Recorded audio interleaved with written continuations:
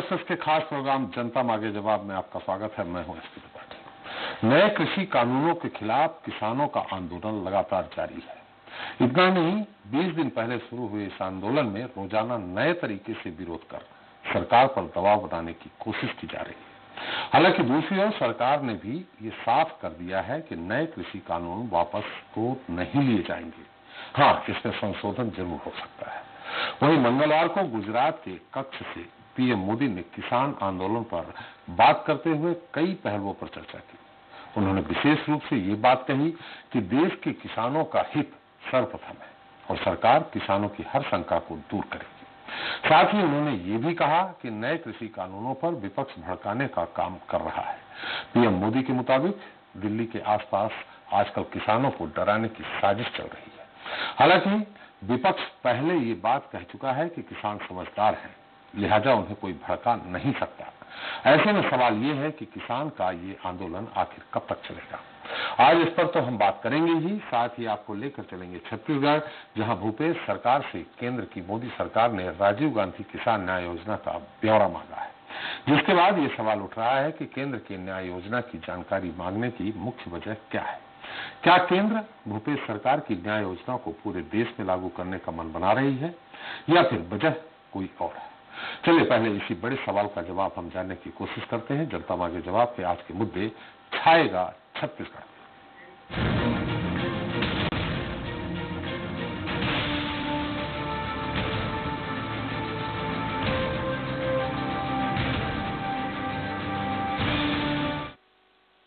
तो इस साल 21 मई को पूर्व प्रधानमंत्री राजीव गांधी की पुण्यतिथि के दिन छत्तीसगढ़ में राजीव गांधी किसान न्याय योजना की शुरुआत की गई थी।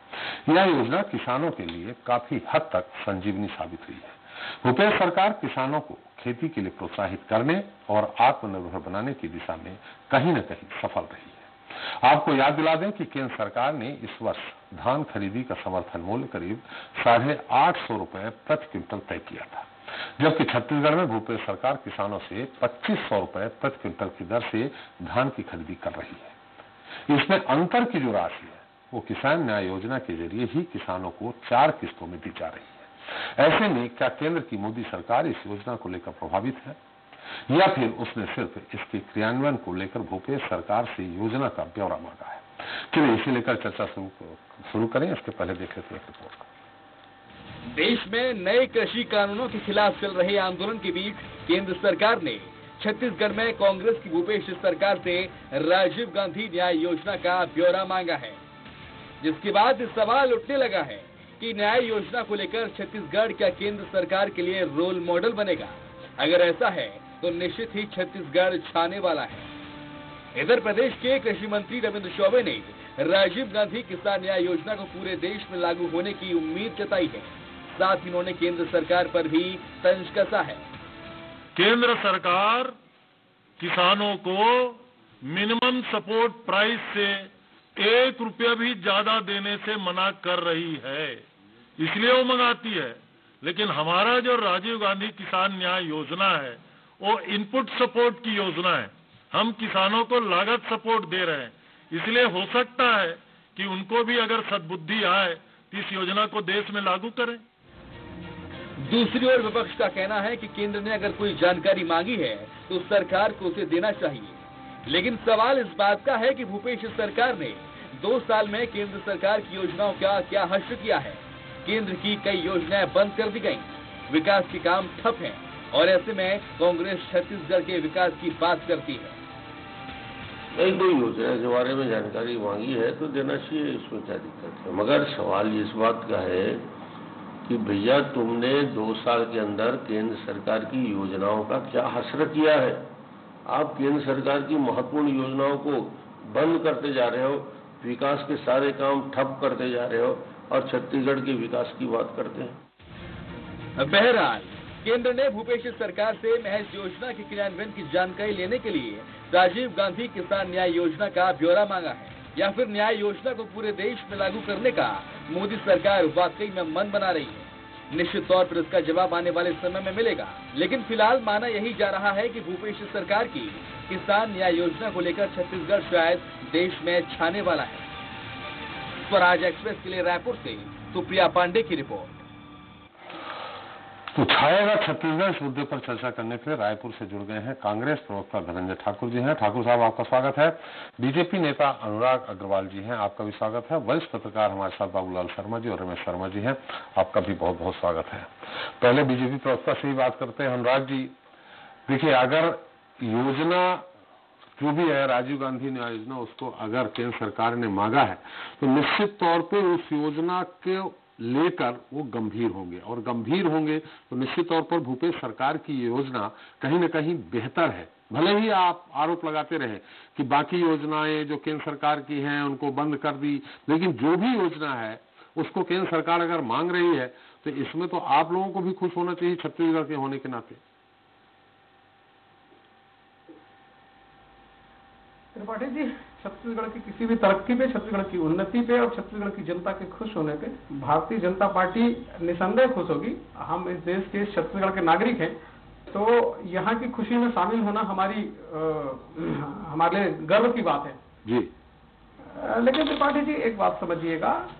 केंद्र की एक संवैधानिक प्रक्रिया है उस प्रक्रिया के तहत वो विभिन्न राज्य की विभिन्न योजनाओं की जानकारियाँ समय समय पर मांगते रहती है। मुझे लगता है कि उसी कड़ी में इन्होंने छत्तीसगढ़ की राजीव गांधी न्याय योजना की मांग की है। बल्कि मुझे जहाँ तक जानकारी है, जहाँ तक मैंने भी बात की है, इन्होंने न केवल राजीव गांधी न्याय योजना की मांग की, अपितु केंद्र की जो योजनाएँ हैं, जैसे प्रधानमंत्री आवास योजना की स्थितियाँ यहाँ पे क्या है, जल जीवन मिशन में जो देरी हो रही है, उसके लिए भी इन्होंने मांग की है। और केंद्र सरकार के जो केंद्रीय मदों की जो उपयोगिता का प्रमाण पत्र इन्होंने ये सब सारी जानकारियाँ मांगी है। लेकिन चूँकि जो छत्तीसगढ़ की भूपेश सरकार है वह पत्र और प्रचार की सरकार है। तो उन्होंने इस बात को प्रचारित करने के लिए कि राजीव गांधी न्याय योजना को केंद्र सरकार ने मांगा है और उसे वहाँ लागू करना चाहते हैं। ये प्रचार इन्होंने, या ये प्रचार या ये दुष्प्रचार उन्होंने प्रारंभ किया है। जिस राजीव गांधी न्याय योजना की बात कर रहे हैं, उससे तो छत्तीसगढ़ में ही न्याय नहीं हो रहा है। आज एक साल लगभग हो रहा है राजीव गांधी न्याय योजना को छत्तीसगढ़ में लागू हुए। इसकी चौथी किस्त भी नहीं हुई है।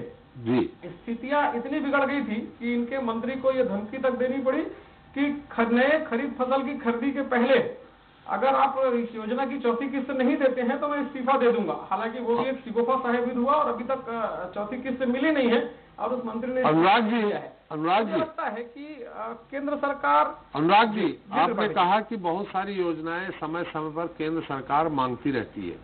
जो थोड़ा बहुत मुझे जानकारी है, शायद बाबूलाल जी या रमेश जी इस पे बेहतर बता देंगे। जो केंद्र सरकार योजनाएँ लागू करती है, वो किस तरह चल रही है, इस पे वो जानकारी मांगती है। राज्य सरकार अपनी कौन सी योजना चला रही, कैसे चला रही, इस पे मुझे नहीं लगता मांगती है।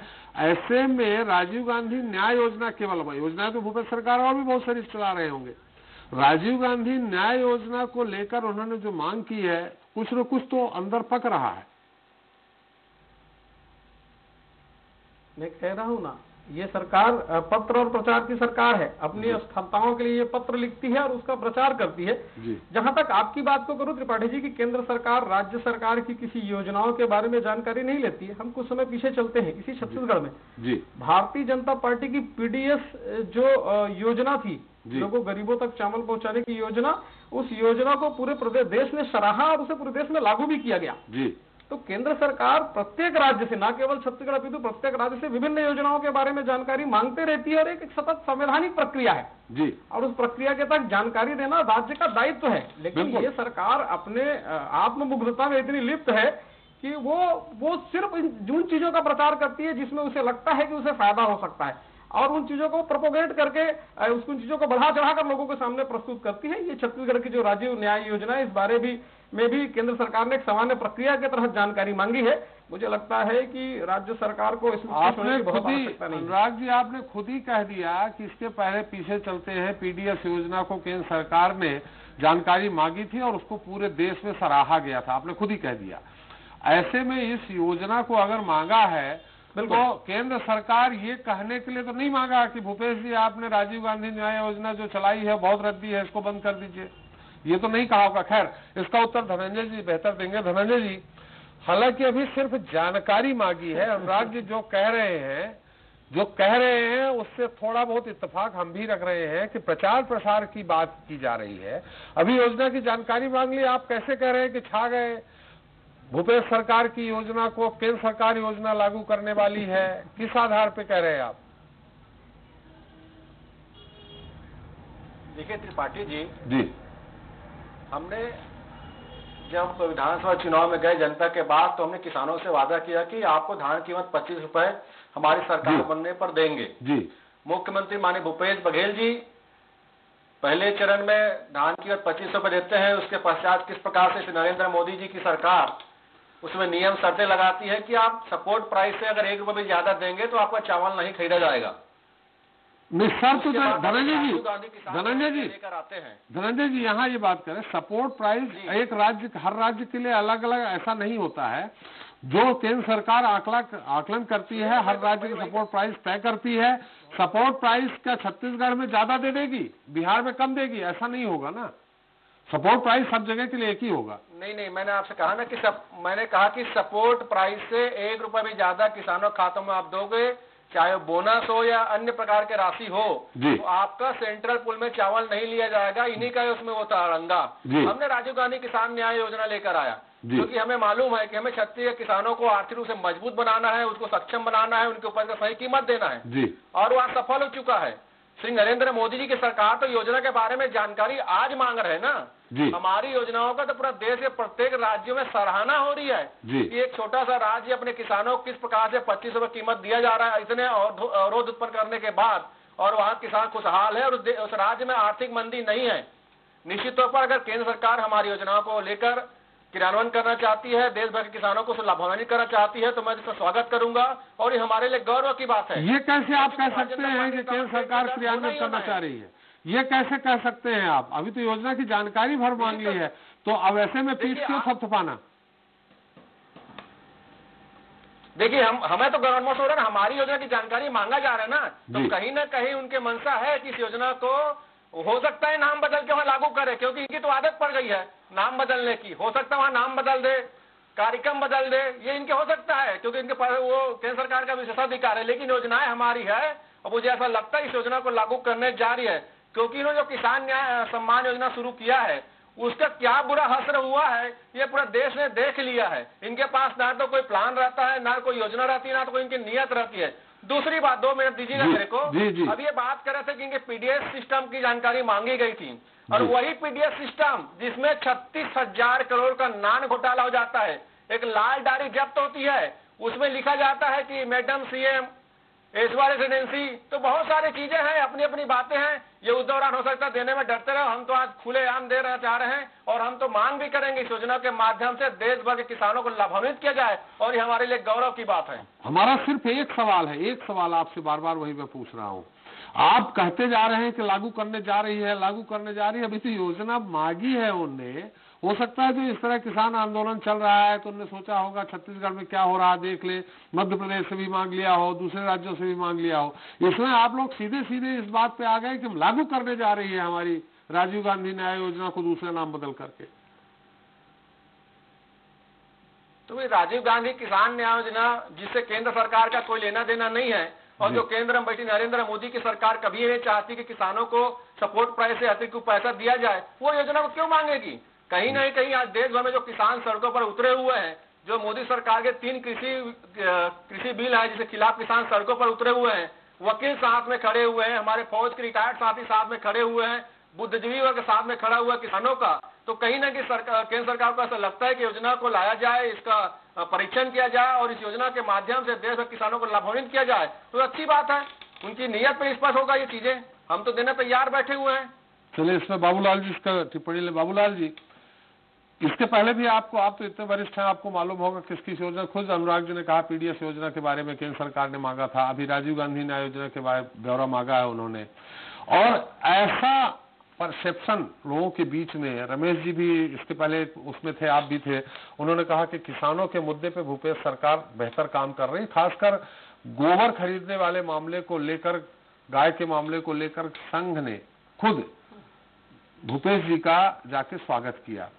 क्या हो सकता है जो जानकारी मांगी गई है? धनंजय जी सीधे बोल रहे हैं आगे लागू हो जाएगी किसी और नाम से।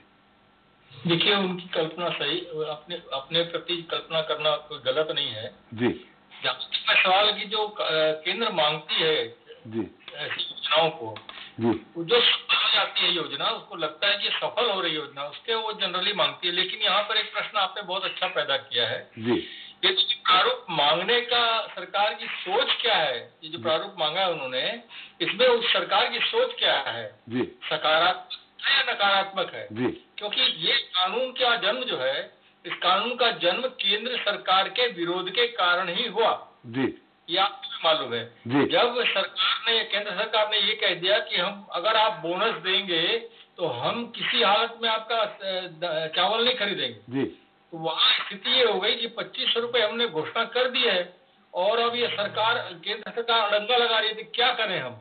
जी। तो उन्होंने वादा किया भूपेश बघेल ने कि सरकार केंद्र सरकार चाहे जितना भी अड़ंगा लगा ले मैं पच्चीस सौ रुपया किसान के जेब तक पहुंचाऊँगा। जी। और उसके कारण इस योजना का जन्म हुआ। जी। अब सवाल ये पैदा होता है कि केंद्र सरकार इसको सकारात्मक रूप से इसलिए अगर बुला रही है कि वर्तमान किसान जो बैठे हुए हैं दिल्ली में जी। वो मैक्सिमम फ़ायदा उनको मिलने की उम्मीद के कारण ये नया कानून उन्होंने लाया है और वो बताने में असफल हो रहे हैं उन पर विश्वास लोगों को नहीं हो पा रहा है कि ये वाकई में नया कृषि कानून आपके पक्ष में है किसान नहीं मान रहे हैं विश्वास नहीं कर रहे हैं। तो वो हो सकता है अगर सकारात्मक सोचे तो हो सकता है कि इस योजना को किसानों के सामने रखें कि। भैया इसमें देखिए मैक्सिमम वो पच्चीस सौ रुपये दे रहे हैं और हम जो है राज्य सरकारों को छूट दे देते हैं वो चाहे जितना भी जो है मैक्सिमम मूल्य जो है वो दें। समर्थन मूल्य से ऊपर चाहे जितना भी देना चाहे दें। ये हो सकता है शायद सारी चीज़ों का सारी नए कानून को समाप्त करके इस कानून को लागू करवा दिया जाए कि सरकारें चाहें जितना उसको दे सके। मैं प्रारंभ में ही एक डिबेट में बोला था कि अगर सरकार किसान को पेट भरना चाहती है ज़्यादा से ज़्यादा देना चाहती है उसी किसान का पैसा है हमारे टैक्स का पैसा है वो उसके किसान तक अगर पहुँच रहा है इसलिए बुराई क्या है? उसमें अड़चने लाने का प्रयास क्यों किया जा रहा है? जबकि खुद केंद्र सरकार शुरू से कह रही है कि मैं किसानों को दुगना आमदनी देना चाहता हूँ। तो अगर कोई राज्य सरकार बढ़ाना चाहती है तो वहाँ रोक क्यों लगाते हैं? ये इसी कारण से इसका जन्म हुआ। देखिए योजना जहाँ तक प्रश्न है योजनाएँ जहाँ अच्छी होती हैं उसकी प्रशंसा भी होती है उसको ध्यान में भी लिया जाता है। जी। ये गोबर योजना जो है केंद्र सरकार की योजना है वास्तव में। आप देखेंगे केंद्र सरकार ने ये योजना लाई थी। जी। लेकिन इम्प्लीमेंटेशन नहीं कर पाई और इन्होंने जो है लपक लिया। ये इन्होंने चालू कर दिया और ये फ़ायदेमंद है किसानों के लिए। इसीलिए राष्ट्रीय स्वयं सेवक संघ जिसकी ये वास्तव में मूल सोच है इस बारे में गौ गौ सेवा के बारे में उसने स्वयं सीएम भूपेश बघेल से मिल करके और उनकी प्रशंसा की और इस योजना को लागू करने के लिए उनको भूरी भूरी प्रशंसा उनके साथ की। तो ये सारी बातें जो अच्छी योजनाएँ हैं और अगर नकारात्मक सोच होगी त्रिपाठी जी। जी। तो निश्चित रूप से वो इस बात में अड़ंगा लगा। हो सकता है इसी कारण से कहीं किसी किसान नेता ने कहा होगा कि देखिए छत्तीसगढ़ में इतना फ़ायदा मिल रहा है तो हो सकता है इसको देख करके वो कहे कि ऐसा आप नहीं कर सकते। दोनों चीज़ें हैं नकारात्मक और सकारात्मक। जी बिल्कुल। रमेश जी आपकी भी टिप्पणी चाहिए लेकिन मुझे तो लगता है कि अगर ये योजना जो ब्यौरा मांगा गया है इस समय जो किसान आंदोलन चल रहा है हो सकता है कुछ नया मॉडल लेकर के आए इस योजना के तहत। जैसा कि प्रति एकड़ जो मुझे मालूम है प्रति एकड़ मिनिमम दस हज़ार रुपए सरकार उनको दस हज़ार उनको देगी। और वो गन्ना गन्ना में भी है वो गन्ना में भी लागू है मक्का में भी लागू है। जी दस हज़ार मतलब जो पैदावार होगी उस पैदावार में जो किसान को मिलेगा उसके अतिरिक्त हर प्रति एकड़ दस हज़ार रुपए सरकार अपनी तरफ़ से उनको एक सपोर्ट प्राइस सपोर्ट करेगी उनको दस हज़ार रुपए दे करके यही है ना बाबूलाल जी? जी इसमें ये उल्लेख कहीं नहीं किया है जी। जो फ़सल पैदा करेगा उसी को देगा। उन्होंने लिखा है प्रति एकड़ दस हज़ार रुपए किसान को दिया जाएगा। जी। जी रमेश जी।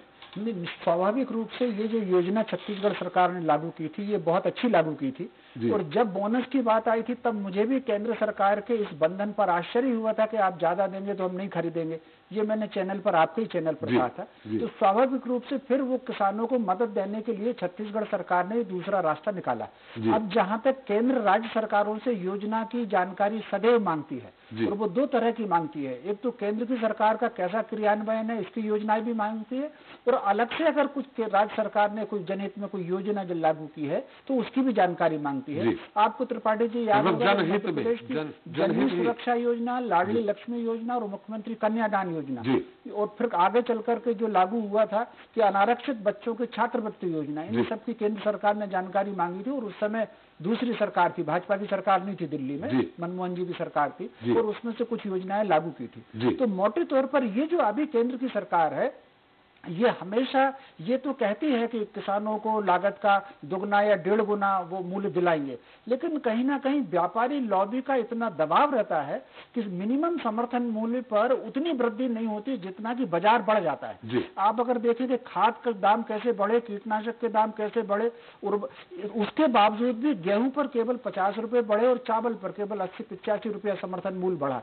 तो मोटे तौर पर इसी बीच में इस किसान आंदोलन को लेकर के पिछले दिनों जब भूपेश बघेल जी दिल्ली में थे तो उनकी वहाँ चर्चा हुई और कृषि मंत्री जी के ध्यान में ये बात आई कि किसानों को कुछ इस तरीके से लाभ दिया जा रहा है, जो कि समर्थन मूल्य से अलग हट करके तो ये बात केंद्र को समझ आई और मुझे लग रहा है कि ये केंद्र इस पर सकारात्मक ही सोचेगी इसमें और सकारात्मक क्योंकि फिर दूसरा एक और बात है आम दिनों में अगर वो योजना की जानकारी लेकर के कोई बाबू या कोई दफ्तर में बंद कर देता बात अलग होती लेकिन इस समय किसान को लेकर के पूरे देश भर में चर्चा हो रही। तो स्वाभाविक रूप से इस पर सरकार ज़रूर केंद्र विचार करेगी और किसानों को जो उन्होंने प्रति परिवार देने की घोषणा भी की है छह हज़ार रुपया, उसमें मध्य प्रदेश ने चार हज़ार जोड़ा हुआ है। तो इससे यह हमको लगता है कि केंद्र सरकार भी किसानों के लिए हित चिंता की बात कर रही है। फिर एक और मैं बात कहूँगा आखिर में। जी। कि ये कानूनों को लेकर के भ्रम ज़्यादा फैलाया जा रहा है। आप मुझे बताइए इस कानून को लेकर के मध्य प्रदेश में तीन मुकदमे दर्ज हुए एक सप्ताह में। और तीनों मुकदमे दो व्यापारियों पर दर्ज हुए हैं और एक ब्रोकर पर दर्ज हुआ है। ग्वालियर संभाग में ब्रोकर पर दर्ज हुआ है होशंगाबाद में और लांजी में व्यापारी पर दर्ज हुआ है। तो ये मुकदमे किसानों के हित में लागू हुआ किसान पर मुकदमा दर्ज नहीं हुआ। लेकिन क्योंकि मुझे लग रहा है कि भाजपा ने इसका एक होमवर्क पर्याप्त नहीं किया। कि जिस तरीके से सीए कानून का भ्रम फैला वैसे किसान का भ्रम फैला दिया। तो मोटे तौर पर किसानों के हित में ये जानकारी मांगी गई है और मैं समझता हूँ केंद्र सरकार इस पर सकारात्मक निर्णय ही लेगी। जी अनुराग जी अब तो आपको हो गया कि प्रचार प्रसार नहीं कर रही भूपेश सरकार। सकारात्मक जैसे खुद बता दिया, इन्होंने लाडली लक्ष्मी योजना, कन्यादान योजना, ऐसी कई योजनाएँ जिसको केंद्र सरकार यूपीए की सरकार थी, वो लागू, उसने कुछ योजनाओं को उन्होंने लागू किया। और रहा सवाल इसका कि कानून सही हो सकता है, लेकिन जो आज वहाँ छत्तीसगढ़ में किसान आंदोलनरत हैं, उसकी वजह यह है कि आप लोग बीजेपी के लोग सही ढंग से समझा नहीं पाए किसानों को कि इस कानून से कितना फ़ायदा होने वाला है किसानों को। त्रिपाठी जी पत्रकार महोदय ने एक बात कही कि सदैव केंद्र सरकार केंद्र राज्यों से उनकी योजनाओं की जानकारी मंगाती है और निसंदेह अगर उनकी जानकारियाँ अच्छी है तो केंद्र सरकार उसे लागू करने का प्रयत्न करती। बात यहाँ पे उठ रही है कि राज्य की कांग्रेस सरकार ये कह रही है कि केंद्र लागू करने के लिए ही इसको मंगा रही वास्तव में। जी। राज्य सरकार अपनी क्षमताओं को छुपाने के लिए लगातार प्रोपोगेंडा करती है। अगर आप छत्तीसगढ़ की बात करें त्रिपाठी जी छत्तीसगढ़ के पिछले साल के एनआरसी के आंकड़े देखिए तो जिस छत्तीसगढ़ के किसान को खुशहाल होने की कांग्रेस बात करती है उस छत्तीसगढ़ में 233 किसानों ने आत्महत्याएँ की, जो पिछली आत्महत्या से लगभग 10 प्रतिशत वृद्धि दर ज़्यादा है। आप देखिएगा, छत्तीसगढ़ में एक महीना देर से धान की खरीदियाँ प्रारंभ की, जिससे धान में सुखत आया। छत्तीसगढ़ में गिरदावरी रिपोर्ट की तो हालत ये इतनी बुरी है कि पिछले साल जिन लोगों ने उतने ही रकबे में जितना धान भेजा था, आज उससे 30 और 40 50 प्रतिशत तक की कटौती हो गई है। किसान यहाँ का बहुत परेशान है। और एक बात देखिए इससे विभिन्न लगातार धान खरीदी चालू होने के 15 दिन के अंदर लगभग लगभग सात किसानों ने आत्महत्या की है। और ये सरकार असंवेदनशीलता दिखाते हुए अपनी अपनी ज़िम्मेदारी से मुकरते हुए किसी किसान को विक्षिप्त किसी किसान को बीमार और किसी किसान को पारिवारिक कारण बता रही है। केंद्र सरकार की संवेदनशीलता देखिए 2014 में जहाँ धान का समर्थन मूल्य दो तेरह सौ दस रुपए था आज मोदी सरकार धान का समर्थन मूल्य अठारह सौ अड़सठ रुपए ले गया है। मतलब इस सालों में इकचालीस प्रतिशत धान का समर्थन मूल्य बढ़ा है। ये साफ़ बताता है कि केंद्र सरकार किसानों के प्रति कितनी संवेदनशील है। और अभी मन की बात में मोदी जी ने कहा भी संवेदनशील है इसीलिए तो। परी है। ये- अगर उसमें कुछ संशोधन की बात करते हैं तो अवश्य संशोधन होगा। अनुराग जी- यह बिल लागू होकर रहेगा। अनुराग जी एक बात और कहता हूँ आत्महत्याओं के आंकड़े गिना दिए आपने। त्रिपाठी जी मेरी बात पूरी होने दीजिए थोड़ा सा समय चाहूँगा दस सेकंड का। नहीं नहीं हम आपको दस सेकंड का समय चाहूँगा। दस सेकंड नहीं हम और दो तीन चार मिनट तो- देंगे आपको। लेकिन हमारा सवाल यहाँ ये उठता है जो कि आपने कहा कि एनआरसी के आंकड़े बता देने से या धान खरीदी अभी नहीं हो पाई एक महीने लेट हुई इसका राजीव गांधी न्याय योजना से तात्पर्य थोड़ा बहुत है। लेकिन राजीव गांधी न्याय योजना कहीं ना कहीं के, केंद्र सरकार को अच्छी लगी होगी। अच्छी लगी होगी। जो अच्छी योजनाएँ होती हैं उनको बुलाते हैं उस पर अध्ययन करते हैं। फिर कह रहा हूँ। जी। जी। तो उस चीज़ से इंकार कौन कर रहा है? अगर कोई योजना के लिए केंद्र सरकार बुलाई है उसका अध्ययन कर सकती है लेकिन उसको आप जनता के बीच प्रचारित करेंगे कि केंद्र सरकार लागू करने के बुलाई है आपत्ति और विरोध तो इस बात का है। और त्रिपाठी जी मैं इनके भूपेश सरकार के गोधन योजना के लिए तो सचमुच केंद्र सरकार को कहूँगा कि भूपेश जी को तो पुरस्कार देना चाहिए कि यहाँ उन्होंने ऐसे ऐसे गाय गाय का खोज कर ली जो एक एक दिन में साठ साठ किलो तक की गोबर देते हैं। मुझे लगता है उस विश्व रिकॉर्डधारी गाय और बैल को भी और भूपेश सरकार को भी एक मंच पर लाकर सम्मान देना चाहिए। मैं लगातार कहते जा रहा हूँ ये अपनी आर्थिक विफलताओं को छुपाने के लिए वो सारे प्रचार रणनीति अपनाते हैं जो ये कर सकते हैं। इन्होंने कतई नहीं बताया कि प्रधानमंत्री आवास योजना के तहत केंद्र के आवास बनने बंद के हो गए छत्तीसगढ़ में? इन्होंने अभी तक अपना केंद्रांश नहीं दिया है। भाई अभी तो बात राजीव गांधी न्याय योजना की हो रही है? कि स्मार्ट कार्ड योजना बंद कर दी थी जिससे लोगों को इलाज नहीं मिल पाया। अरे अभी तो राजीव गांधी न्याय योजना की बात हो रही है अनुराग जी। करोड़ रुपए का टेंडर रद्द हो गया। भाई हम अगर लागू हो गया। सरकार की सारी योजनाओं की जिससे जनता का भला हो। अनुराग जी अगर लागू हो गया। जनता के भला के सारे अनुराग जी, मेरा सवाल को है, सुन लीजिए। चर्चा होनी चाहिए। अनुराग जी जिस योजना को लेके आप लोगों ने बहुत सारे किंतु परंतु लगाए हैं उस योजनाओं के बहुत सारे सवाल खड़े किए हैं। उसी योजना को अगर केंद्र सरकार मांग रही है तो ये कहने के लिए तो नहीं मांग रही है कि आप इसको बंद कर दीजिए। हो सकता है बहुत ही कम प्रतिशत होगा कि मांगे। वो कहीं ना कहीं उस योजना को लेकर के उसके मन में हुआ होगा कि नहीं, योजना अच्छी है। और छत्तीसगढ़ की भाजपा इकाई उस योजना पे किंतु परंतु लगा रही है। ऐसी स्थिति में केंद्र सरकार अगर मांग रही है तो अपनी पीठ तो थपथपाएँगे ही धनंजय जी। क्यों धनंजय जी? देखिए त्रिपाठी जी आपने एक बहुत अच्छा बात कहा है। साथ कर लेते हैं। लेकिन मुझे ऐसा लगता है कि जिस भाजपा के प्रवक्ता बार बार योजना को लेकर योजना रूटीन में मांगती है। रहे हैं। जी जी जी। स्पष्ट हो गया है कि माननीय मुख्यमंत्री भूपेश बघेल जी ने जब पहली बार किसानों को धान की पच्चीस सौ रुपये दिए उसके बाद हम जब दूसरी बार देने जा रहे थे तो जिस प्रकार से षड्यंत्र किया गया कि यहाँ किसानों को धान की पच्चीस सौ ना मिले मुझे तब ऐसा लग रहा है कि भाजपा प्रवक्ता के बातों से कि राजीव गांधी किसान न्याय योजना के प्रति भी एक षडयंत्र करने जा रहे हैं। ऐसा तो नहीं है कहीं क्योंकि छत्तीसगढ़ का किसान खुशहाल हो रहा है और केंद्र में बैठी नरेंद्र मोदी की सरकार जो अन्याय के लिए आपके खिलाफ है। को पूरा नहीं किया अनुराग जी अनुराग जी एक मिनट है अनुराग जी, उनकी बात नेताओं की षड्यंत्र करने की आदत है। झूठ बोलने की आदत है। लेकिन तो धनंजय जी थोड़ा संयम बरत लेते ना। चंद पूंजीपतियों को फ़ायदा पहुँचाने की आदत है। धनंजय जी। षड्यंत्र तो नहीं करेंगे ना नरेंद्र मोदी जी। कैसे। बरतेंगे? इनके पास तो धनंजय जी थोड़ा- ना। धनंजय जी थोड़ा संयम बरत लेते अभी योजना मांगी है। जब उस योजना के रूप में भले ही नाम बदल करके लागू करने जाते तब पीठ थपथपाते तो ज़्यादा अच्छा था। धनंजय जी उनका ये कहना है कि लागू करने जा रही है? ये सीधे आपने कैसे कह दिया? निश्चित तौर पर अगर आप कोई योजना लेकर आते हैं और आप जो गले तक डूबे हुए हैं आरोपों से और किसानों से तो किए वादा खिलाफी से के होगा। किसान आपके खिलाफ खड़ा हुआ है और किसानों के साथ देश खड़ा हुआ है ऐसे में नरेंद्र मोदी जी की सरकार के पास कुछ बचता नहीं है क्योंकि एक और अडानी और अंबानी जैसे पूंजीपतियों का दबाव है कि कृषि कानून को वापस ना ले दूसरे ओर किसान बोल रहे हैं कि आप जब तक नहीं करेंगे पास हम सरकार बातों के अलावा तो कुछ होता नहीं धनंजय जी आप चले जाते हैं आज़ादी के पहले तो मुझे आप चले जाते हैं पंद्रह वर्ष कि बात करिए। किसान न्याय योजना के अलावा कोई योजना को लागू कर सके और किसानों को लाभ पहुँचा सके मैं तो शुभकामना देना चाहूँगा केंद्र सरकार को इस योजना को लागू करे और देश भर के किसानों को खुशहाल करे क्योंकि इसमें धान उत्पादक ही नहीं मक्का गन्ना और अन्य प्रकार के उत्पादक जो किसान है उसको भी लाभ देने की योजना है और भूमिहीन किसानों के लिए भी इसमें योजना है। वो अलग विषय की भाजपा इसकी बुराई करते रहे लेकिन मुझे ऐसा लगता है कि जो बातें हो रही है मालूम है ना दो हज़ार चौदह। से लेके उसके बाद चलिए। समर्थन मूल्यों में चालीस प्रतिशत तक वृद्धि हुई है।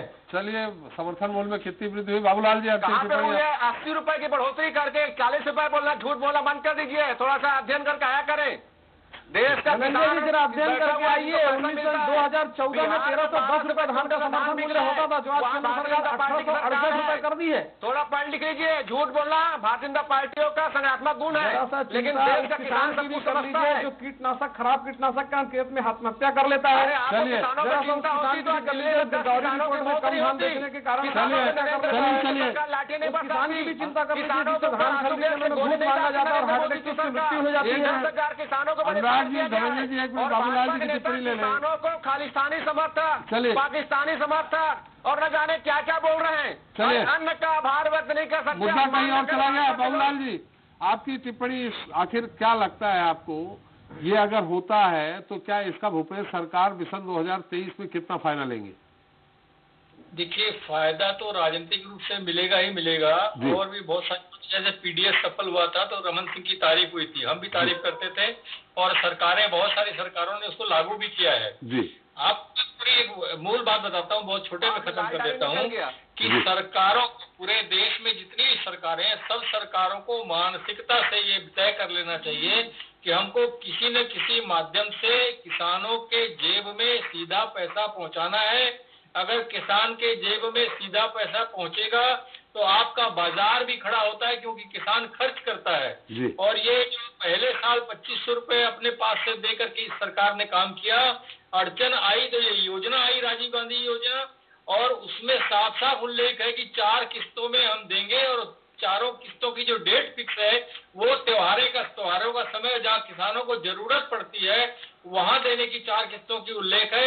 ये बहुत अच्छी योजना जो है, इसका अनुसरण जो है वास्तव में पूरे देश के राज्यों को करना चाहिए और केंद्र सरकार को चाहिए कि राज्यों को ये छूट दे दे कि वो चाहे जितना जितना देना चाहे अपने किसान को, जिस भी माध्यम से देना चाहे वो दें। क्योंकि उनकी भी मंशा, केंद्र सरकार की भी मंशा दोगुनी आय करने और ज़्यादा से ज़्यादा किसानों को लाभ पहुँचाने की है। चल चलिए, बहुत बहुत धन्यवाद बाबूलाल जी, आपका धनंजय जी, आपका, अनुराग जी, आपका हमारे साथ चर्चा में शरीक होने के लिए। तो केंद्र ने भूपेश सरकार से राजीव गांधी किसान योजना का ब्यौरा क्या मांगा? हर कांग्रेसी गदगद हो गए लेकिन अभी ये बात सामने नहीं आई है कि केंद्र ने न्याय योजना का ब्यौरा मांगा क्यों है। क्या मोदी सरकार ने महज योजना के क्रियान्वयन को लेकर भूपेश सरकार से जानकारी मांगी है? या फिर केंद्र सरकार राजीव गांधी न्याय योजना को पूरे देश में लागू करने का वाकई में मन बना रही है? अगर ऐसा है तो भूपेश सरकार के लिए गर्व की बात होगी। क्योंकि ये योजना देश में रोल मॉडल बनेगी। लेकिन इस बीच सवाल ये भी है कि अगर न्याय योजना पूरे देश में लागू होती है तो क्या ये राजीव गांधी के नाम पर ही रहेगी या इसके नाम में भी बदलाव होगा? मोदी सरकार कांग्रेस को आक्रोशित करेगी, ये देखना अहम होगा। चलिए, छत्तीसगढ़ के बाद अब बात आज के दूसरे मुद्दे की करते हैं, जो कृषि कानूनों के खिलाफ जारी किसानों के आंदोलन से जुड़ा है और इसमें अब असली बनाम नकली की बात उठ रही है।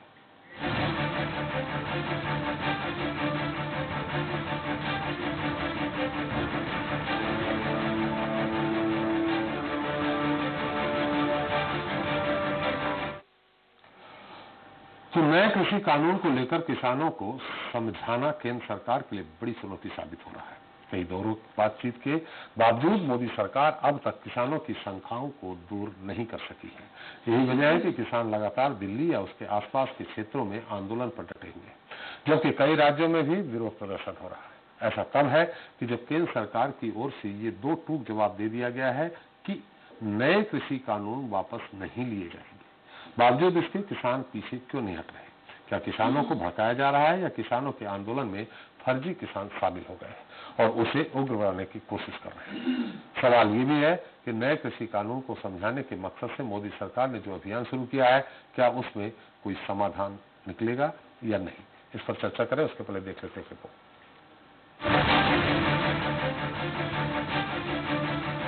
जो इसके अंदर आपको अगर कुछ ऐड करवाना है तो उसके साथ ऐड किया जा सकता है। लेकिन ये नहीं कि एकदम पूर्ण रूप से यश या नो नए कृषि कानून के खिलाफ चल रहे किसान आंदोलन को लेकर केंद्र सरकार के कृषि राज्य मंत्री कैलाश चौधरी ने दो टूक जवाब दिया है। उन्होंने स्पष्ट शब्दों में कहा है कि कानून वापस नहीं लिए जाएँगे। कुछ जोड़ना है तो बताएँ, इतना ही नहीं।